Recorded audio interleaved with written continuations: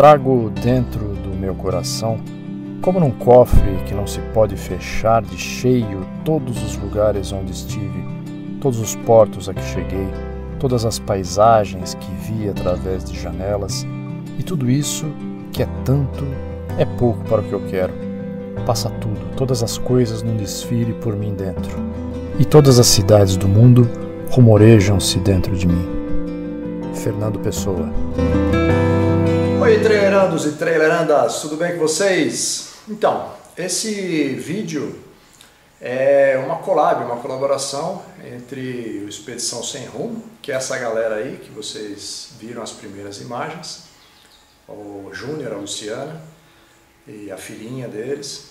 É, e eles têm um canal bem legal, fizeram uma viagem até a Patagônia, estão preparando uma outra viagem. E a gente se conheceu no YouTube, acabou se conhecendo pela internet, batendo papo, trocando mensagem, Facebook, é, trocamos WhatsApp, já combinamos de nos encontrar durante né, várias vezes, churrasco, camping, vamos, nunca deu certo, a gente não se conhece pessoalmente ainda, com certeza vamos nos encontrar. E a gente acabou fazendo um bate-papo aí via internet mesmo, é, para contar para vocês um pouco sobre a viagem deles e a história deles. Eles têm um canal bem legal. Eu vou deixar o link aqui no card para o canal deles, Expedição Sem Rumo. Vou deixar na descrição do canal também, lá embaixo, para vocês acessarem e conhecerem. É uma família muito legal e chega de enrolação, vamos à conversa com eles. Primeira coisa que eu perguntei foi um pouco sobre eles, sobre a ideia da viagem, sobre como é que eles começaram essa, essa expedição deles aí. Vamos ouvir. Well, I got me a fine wife, I got me old fiddle. When the sun's coming up, I got cakes on the griddle. Life ain't nothing but a funny, funny riddle. Thank God I'm a country boy.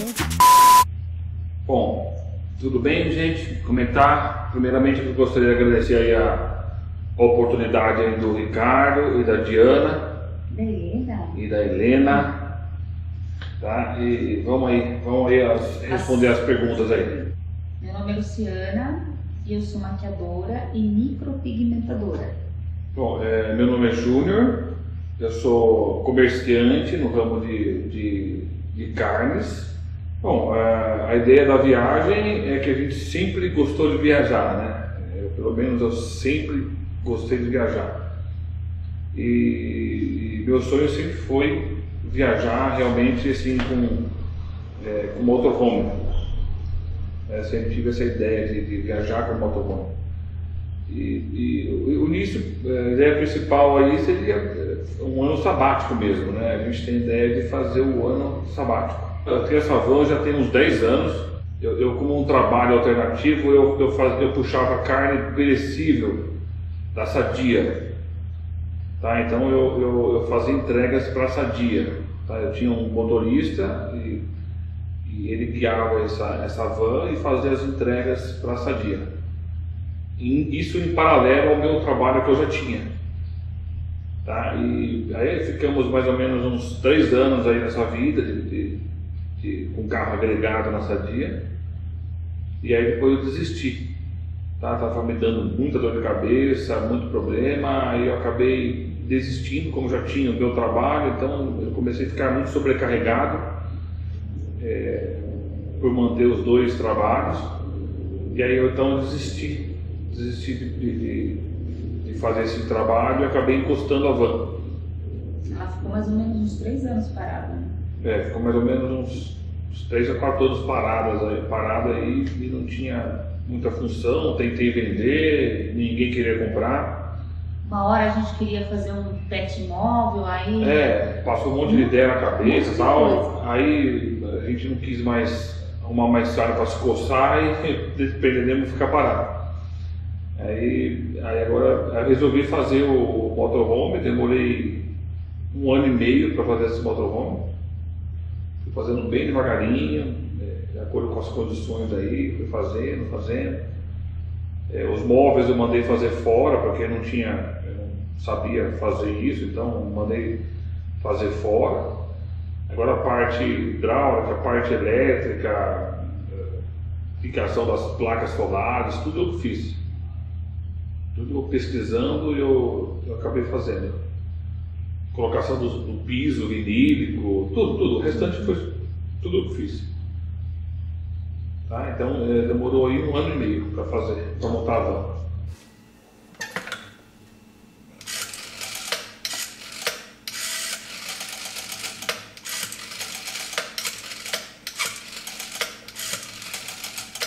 Alô? Júnior? E aí, cara, tudo bem? Fala pro pessoal aí, é... qual foi a principal dificuldade? O pessoal que quiser fazer a mesma viagem, dá umas dicas aí. Valeu! Pra gente, a dificuldade maior foi, foi ficar longe da família. É um fator aí que pesou bastante foi assim, ficar longe da família. Agora, o restante não tem, assim, é, estar com, sair com, com um veículo em ótimas condições, né, com a documentação toda em dia, tá? inclusive carta verde e tudo mais, para você poder entrar na Argentina, o seguro Soapex para poder entrar no Chile, né? fizemos também um, um, seguro viagem, então fomos assim bem calçados, sem problema nenhum.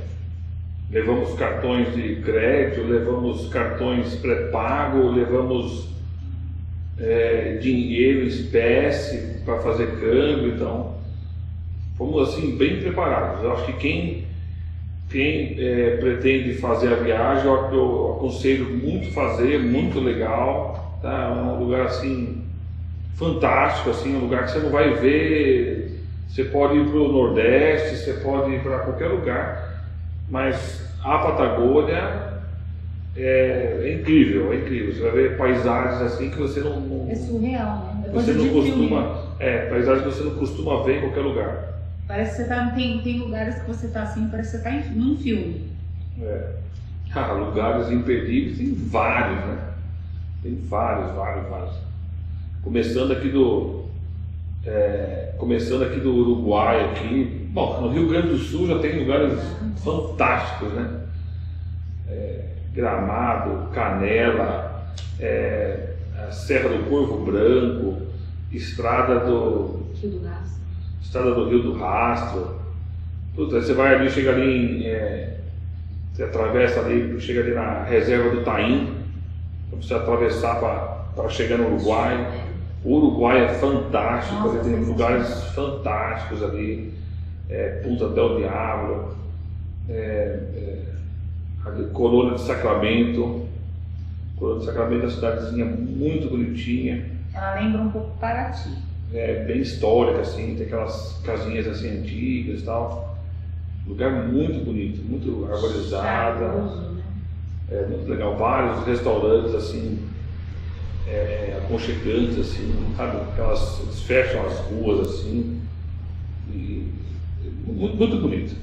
Então, Uruguai, depois Argentina também tem vários lugares, Montevidéu, Mercado del Porto, lá em Montevidéu. É, nossa, vários lugares, né? Oh, muitos. É, é, é Gualeguaychú, né? Nós passamos também a primeira cidadezinha ali. Depois que atravessa a Depois que atravessa Gualeguaychú também, lindo, lindo, Argentina. É o caminho inteiro, o caminho inteiro, até lá embaixo, depois lá a, a travessia pela Patagônia mesmo, várias cidadezinhas, agora que eu não vou recordar o nome, estão várias assim. E, e, o Chuaia em si, né? O Chuaia em si, Punta Arenas, é, nossa, é, não, não dá para descrever quantas assim. É, acho que é um conjunto. Né? É, aí quando você acha que acabou, aí você começa a subir, Tem você chegou no Chuaia. Aí quando você acha que acabou, você começa a subir novamente e corta ali pela carreteira austral. Nossa, é. Nossa, carreteira austral.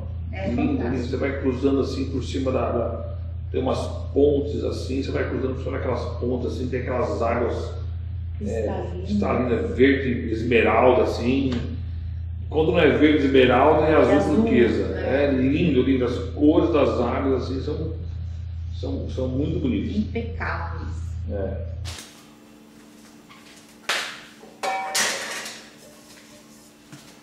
Ah, e as comidas? Putz, vocês devem ter comido cada coisa boa, hein? Conta aí. As comidas são boas. Eu, eu não achei muita diferença entre lá e aqui? A diferença são os cortes da, das carnes, é que o Júnior que entende mais de, de carne. Não, não tem, não tem diferença. No Uruguai, sim, a, a, aquelas carnes que a gente compra no Uruguai, é super, super macia, assim, a carne muito macia. Nossa, e, e saborosa, né? É. Ela já Saborosa. tem um sabor assim. Acho que nem precisa colocar tempero, só um salzico de nata já, É. já dá um toque. são muito saborosas e, e, assim, é diferente não, diferente são os cortes, né? Você vai no, mercado, você não acha lá um, um Patinho. patinho, ou você não acha um- um- sei lá, você não acha o- É contrafilé, né? Você não, não é, os, os cortes são diferentes. Não é nada você ficar procurando o formato da carne que você conhece aqui e o, e o nome que você não, não vai, é, é tudo diferente. Né? Então você fica meio perdido nesse, nessa questão aí. Mas se você for lá e pedir uma carne lá, você vai lá pro, pro carniceiro né? e pede lá uma, uma carne para fazer um- uma pailhada, para fazer um. Lá no churrasco, você fala, eu quero uma carne para fazer uma pailhada, ele vai te dar lá um- uma carne boa lá para fazer, entendeu? Que é o, é, é o tapa do tapa do traseiro, tapa do traseiro, alguma coisa assim. Que é a carne muito boa para fazer. Né? E, e também ali comemos aquela. Lá no Chuaia a gente comeu aquela parrilhada, Parrilha. pedimos uma parrilhada completa. Né? Cordeiro, chouriço, é, Isso. Então vinha uma travessa assim com várias, com uma, vinha uma travessa com com uma, uma chapa embaixo, com, com fogo embaixo para manter aquecido. E aquele troço veio fritando ali, meu, e, e várias carnes, né? Tem a, veio a murcila branca, a murcila preta, bife de chorizo, é, é, como é que é? Cordeiro, Cordeiro, frango. frango, veio um monte de coisa. Tem, Um monte de carne. tinha uma, uma carne lá que a gente não soube identificar que tipo de carne que era aquele. Era um miúdo, acho que era um miúdo do cordeiro, provavelmente, não sei. Mas assim, tinha putz, um Muita monte de coisa, coisa. muita. Tinha carne assim Muita para coisa. comer, nós pedimos para dois ali, mas dava para uns, Uns quatro. uns quatro a cinco comer. Tranquilamente.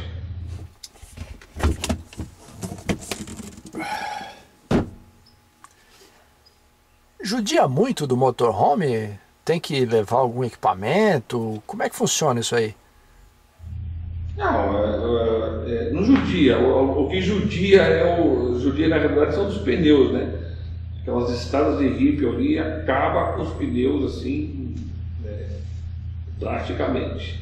Muita ponta de pedra, é um terreno muito muito é, é, é chato de, de você atravessar e muito ruim. E, assim, agora equipamentos é assim, você precisa ter, para você ingressar na, na, na Argentina, você precisa ter no mínimo dois triângulos, tá? para quando o veículo quebrar, você tem que colocar um triângulo na frente do, do, do- do- carro e outro atrás, na traseira. Tá? Você precisa também ter um, um cambão, o cambão nada mais é do que um, é uma, uma barra de, de, de- ferro onde você vai, vai engatar no, no veículo é, é, que vai guinchar e no que vai ser guinchado. Tá? Então, é, nos dois você vai engatar aquele cambão e ali você pode, né, pode é, é, ser guinchado. Não pode ser guinchado com uma corda. Então, isso aí tem, e obrigatório você carregar esse, esse, esse, esse material, esse equipamento. Tá? E, e também aquela na, na ponta do para-choque, no caso de vans, assim, vans e caminhões, na ponta do para-choque do lado esquerdo, traseiro, deve ter uma, uma luz verde. E na ponta do para-choque do lado direito deve-se ter uma luz vermelha. Tá? Que mais? É, kit frente. primeiros socorros, tá? Ter o kit primeiros socorros. É, na frente do veículo precisa ter uma faixa refletiva de um metro na frente, deve ser colada ali no para-choque, no capô, na dianteira, e essa faixa deve ser branca, Tá? E na traseira também um metro de faixa refletiva vermelha, também colada na traseira, ou no para-choque, ou na tampa traseira do seu carro. Tá? E o símbolo de, de, de, de velocidade, que no caso da van seria 90 km por hora.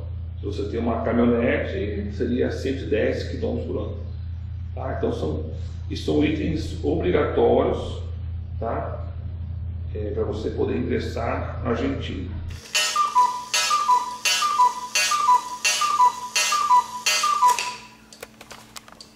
Quanto tempo durou a viagem? Bom, é, nós ficamos 90 dias viajando. Tá? É, o custo da viagem é, ficou em 16 mil reais, tá? com, com com tudo, tá? Combustível, pedágio, é, telefones, restaurantes. restaurantes, passeios, tudo. Assim, a gente, a gente é, é, teve uma vida normal, assim, não, é- nem economizou é, e nem esbanjou. Então a gente levou, sabe, o passeio que a gente queria fazer, a gente fazia, o que a gente, é, onde a gente queria comer, a gente comia. entendeu? Então a gente levou assim uma vida normal. Então é, gastamos 16 mil reais, tá? Não é um assim, um, poxa, achamos que é, gastamos muito pouco, tá? É, é quase que a despesa que eu tive se eu tivesse em casa. Então não teve assim despesa maior. Então eu acho que o, o gasto assim está dentro do, da normalidade aí, porque eu estava calculando que ia gastar mais ou menos de 130 a 150, até 200 reais assim. Eu tava, era um- uma, uma, uma estimativa assim que eu fazia, é, que eu fazia para gastar por dia. E o nosso gasto ficou em torno de 170 a média, né? 170 e poucos por dia, então. Tá num, tá num valor aceitável aí, também assim, o carro não quebrou nem nada, né? Não teve grande gasto, né? Eu coloquei até um valor ali, esses 200 reais ao dia, estava até embutido ali um valorzinho de manutenção, uma possível eh, quebra do, do carro, mas coisa que não aconteceu, então ocorreu tudo bem. A gente que edita vídeo, trabalha com o YouTube, sabe que é um trabalho bem grande você, né, além de filmar, editar e colocar as imagens no ar. Fico imaginando na viagem, como é que é isso aí? Deve ser bem mais complicado. Então, a... em questão do, de- do trabalho uh, de internet, a gente faz assim, não era todos os lugares que tinha internet. Então, o Júnior editava os vídeos e deixava os vídeos todos prontos, né? E aí, quando a gente chegava, geralmente tinha ah, internet em posto de gasolina. Na Argentina, aquele YPF tinha, qualquer posto que se parava tinha internet. Então, a gente aproveitava esse momento para subir todos os vídeos. Então a gente ficava despreocupado. E durante a viagem a gente parava nos lugares para dormir, para conhecer, ele editava tudo que tinha que editar, depois quando achava a internet subia. Sem problema nenhum. Sim, a gente acabava até subindo, deixava lá mais ou menos uns 10 vídeos. vídeos prontos ali, 8 a 10 vídeos prontos. E quando achava a internet, a gente procurava subir os vídeos. Aí a gente ia em shopping, lá em Montevidéu, ficamos no shopping subindo o vídeo, é, em posto de combustível, o, o IPF tinha. É, às vezes também fi- ficamos também no, no- Em praças, até praças. praças. E praças é meio ruim, o, É, praças na verdade não dá para você subir o para vídeo. você subir o vídeo. Seria mais comunicação celular, É. coisa básica. Para subir mesmo, a gente e a gente achou uma muito uma internet muito boa, assim que foi uma internet top assim, que a gente subiu, acho que em menos de, de, de uma hora a gente subiu mais de cinco vídeos Cerro Sombreiro. em Cerro Sombreiro, lá no, no Chile. Ali Que é é quase parada, lá embaixo ali, quase lá na, na- no Chuaia. ali é parada obrigatória. Nossa, ali é top, top. A internet lá a internet da, da, da prefeitura, lá, sei lá o que é. Nossa, a internet dos caras voa. Nossa, muito bom. E, e foi, foi assim, foi assim, a gente ia alternando, né?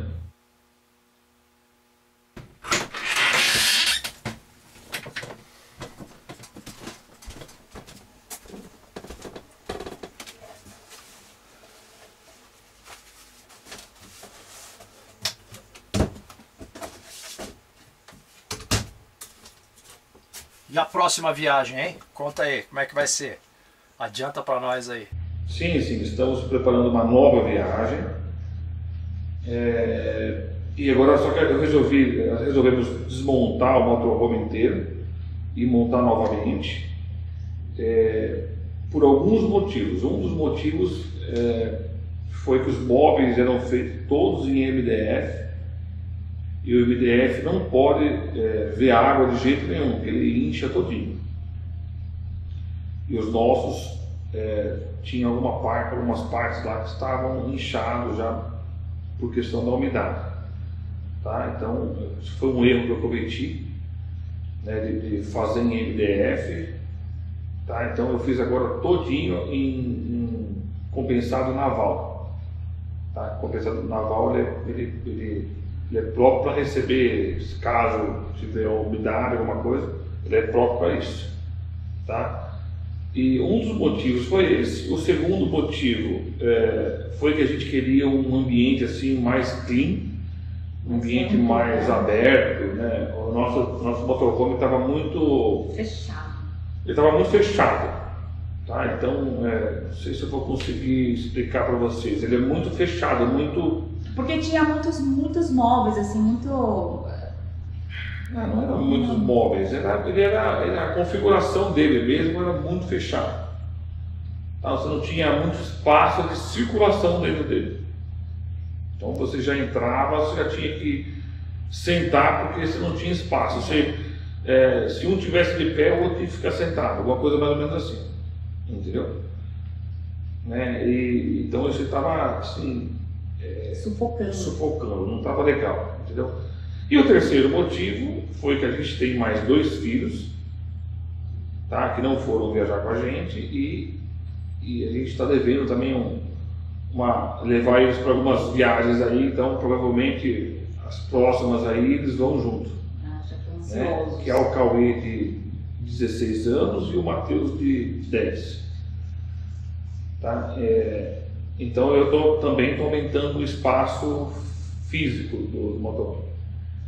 Então agora nós, vamos, nós tínhamos uma cama de casal e, e, uma, e duas camas de solteiro, assim, mas muito apertado. Entendeu? Agora estou fazendo, é, vão ter duas camas de casal e uma cama de solteiro. Então nós vamos, nós vamos ter cinco lugares para dormir né? e cinco, cinco lugares para viajar. Então você pode viajar em cinco pessoas, as cinco pessoas com cinto de segurança, e, e, e, pode dormir cinco pessoas, e também essas cinco pessoas vão dormir confortáveis, com cama grande e tal, tudo bonitinho. Entendeu? E o ambiente que a gente queria, que era aquele ambiente mais clean, mais aberto e tal. Né? Porque assim, a gente entrava nos motorhomes, desculpa te cortar. Não, tudo bem. é, a gente entrava, a gente entrou vários motorhomes, inclusive com mesmo que o nosso, né? E a gente entrava, via aquilo tudo amplo, né? E a gente não entendia, nossa, mas nossa, é muito apertado, muito apertado.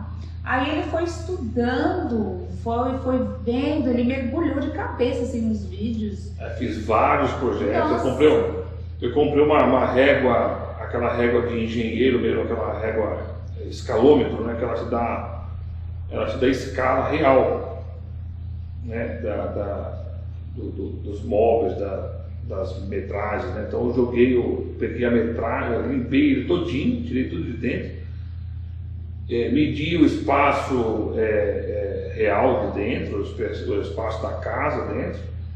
Então eu medi no comprimento, medi na largura, medi na altura. Tá? Joguei isso numa folha de papel, assim, em escala menor, né? E fui repartindo ali os móveis, repartindo tudo que eu queria colocar. Né? Todos os móveis que eu queria colocar lá dentro, nas medidas que eu queria, eu fui colocando ali em escala e fiz vários desenhos, vários, vários desenhos, projetos. E aí, graças a Deus, agora eu consegui chegar num, num, projeto assim que agradou, eh, me agradou muito, agradou ela também. Né? E também está assim, tá, tá, tá nossa cara, assim, o automóvel tá nossa cara, assim, tá bem, tá bem clean, assim, bem, bem gostoso, assim, bem arejado, cabe várias pessoas ali sentadas, né? ao mesmo tempo. E então aí, ficou muito legal. E agora tá correndo, né? Porque a gente quer, quer para estrada de novo. Exatamente. Então, o Rúlio tá mandando ver lá embaixo. Paulo Gato. Pô, nós paramos, a eh, nossa, nossa viagem, nós paramos em Bariloche. Tá? Então, ali, todas aquelas cidades ali do, do, do norte ali da, da, do Chile, nós não conhecemos nada né? inclusive Santiago, Valparaíso, é, é, Cordilheira dos Andes, todo aquele pedaço é, do norte do, do, Chile a gente quer conhecer muito. Tá? E depois disso ali, é, Bolívia, né? Vamos, queremos conhecer lá o Solar de Nunes, lá, Solar de Nunes, alguma coisa assim, na Bolívia e, e depois Peru. Né? Nós queremos, queremos ir até Machu Picchu, tem outros lugares bem interessantes lá que a gente sonha muito em conhecer. Tá, mas antes disso, tá, eu acho que, é, eu não sei precisar ir para quando, aí, provavelmente mais para o final do ano mesmo. Tá, mas antes disso a gente vai fazer outras viagens aí mais perto. Né, vamos em alguns encontros, Provavelmente vamos aí na, visitar uns amigos ali também no Rio de Janeiro. Né? É, que já faz um tempão que a gente está devendo uma visita lá para eles. E vamos fazer viagens perto aqui, justamente para é, ver o desenrolar do, do carro ali. Vamos levar os moleques junto, para ver como que a gente vai se sair ali. Mas depois, quando a gente pegar mesmo é, para ficar aí, a gente não, não sei nem precisar quanto tempo, não dá nem para falar assim quanto tempo. Porque o ideal é viajar sem pressa, né, e sem e não ter lugar, horário na agenda. Se você é, é, viajar ali com sair com, com horário, com o dia voltado, é, o dia, dia horário para voltar é muito ruim.